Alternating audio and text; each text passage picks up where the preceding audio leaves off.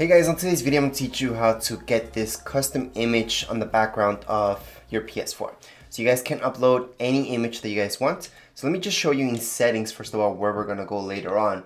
So what we're going to do is go into themes and then under themes you guys will see select theme and from there you're going to select custom and from here select image. Yes, I'm going through this really, really fast, but later on I'll take you step by step. Just want to show you a brief of what we're gonna do.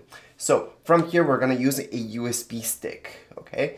And on your USB stick, you guys can upload any image you guys want and then just put it here. Just make sure that image is 1920 by 1080, which I'm gonna show you that in a second.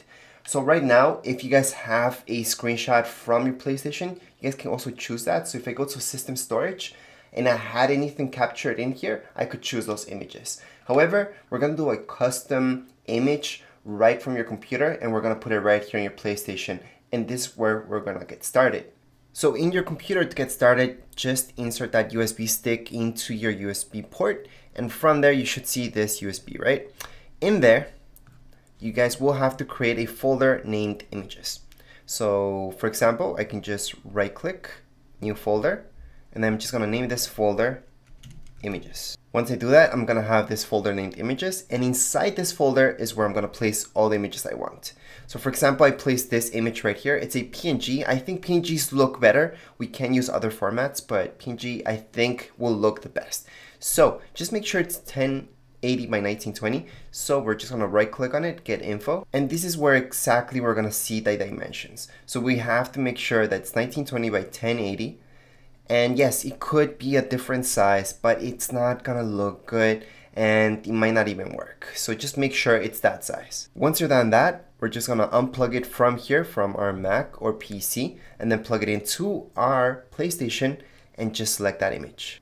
So once we plug in our USB drive into our PlayStation, we're just gonna go right into settings. All right, that's all the way up here on the top right hand corner. And from there, we're just gonna have to scroll down until you guys see themes. Under themes, we're gonna see select theme, which is our first option. Under first option, we're gonna go right down here. It's almost our last option to the right.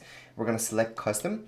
From custom, we're just gonna select the very first option where it says select image. Once we click right there, we're gonna see two options. The first one is system storage and then USB storage device. That means a USB stick or even an external hard drive that you guys plugged into your PlayStation.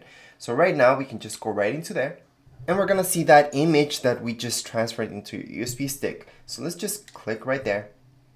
And what we're gonna do is just select enter. And it's best that you guys actually see it applied and not the preview. It's not the best preview.